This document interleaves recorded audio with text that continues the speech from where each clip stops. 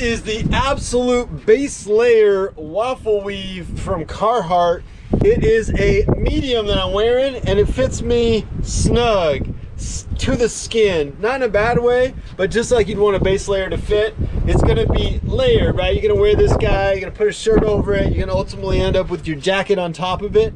I would say, like all Carhartt stuff, you could wear this on the job or you can wear this just about any time. It's just a comfortable base layer with that traditional waffle weave. As for length, a lot of Carhartt stuff is really long and meant to be tucked. This one fits me actually right at pants level, so it's kind of shorter. You can wear it outside your pants, or if you're tucking in outside layers, it would just kind of go with it. It's also got like a lot of seaming. If it's got styling, it's all in the seaming. It's got this double stitch stuff up and down the sleeves, down the sides.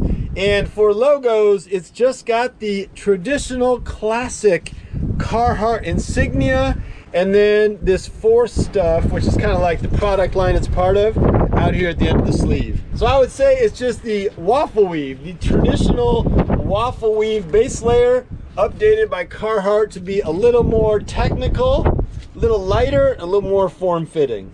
All right, that's a lot better. Get the Carhartt sweatshirt on top of the waffle weave, and it's feeling pretty good.